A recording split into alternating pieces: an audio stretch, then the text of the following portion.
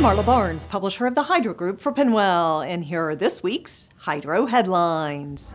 Starting off in the United States this week, a House subcommittee held a hearing on draft legislation that would improve the regulatory framework for hydropower development.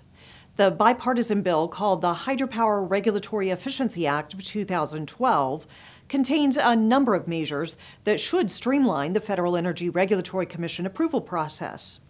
Proponents of the bill note that hydropower faces a competitive disadvantage compared to other renewable energies due to long application times, particularly the small and low impact projects this bill would affect most. The legislation is one of several bills currently making their way through Capitol Hill that aim to increase America's hydroelectric generating capacity. In fact, to watch a report from the National Hydropower Association's Jeff Leahy on current hydropower legislation, go to the video gallery on hydroworld.com.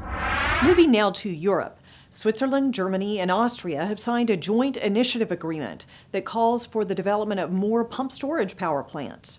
The document reflects the country's commitments to Europe's energy and climate policy objectives, which stipulate that greenhouse emissions should be reduced 20% by the year 2020. And though many countries are turning to wind and solar generation, the initiative notes that pump storage power plants will be essential given the volatility of many other renewables. The agreement also calls for the expansion of existing pump storage facilities and cross border transmission of electricity. Moving now to Chile.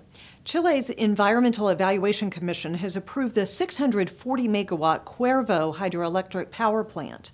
Developer Energia Austral submitted the project for approval in August of 2009 and expected it to be approved in 2011. But four rounds of review by various Chilean agencies delayed the go ahead.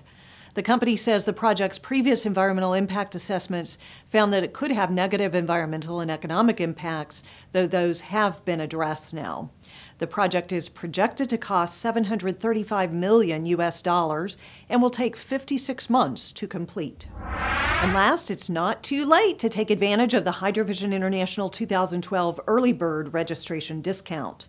If you haven't done so already, sign up today at www.hydroevent.com to save $150 on your registration. Now, you will need to register before June 8 to take advantage of this reduced rate. And while you're visiting hydroevent.com, check out the preliminary event guide. This guide includes a schedule of events, detailed information about all the co-located seminars, workshops, and briefings, lots of detail about the conference content and the names of the speakers, a map of the exhibit hall floor, and even information about the host city, Louisville, Kentucky. Well, that's the hydropower news for this week. Watch for this newscast each and every week, brought to you by Hydro Consulting and Maintenance Services.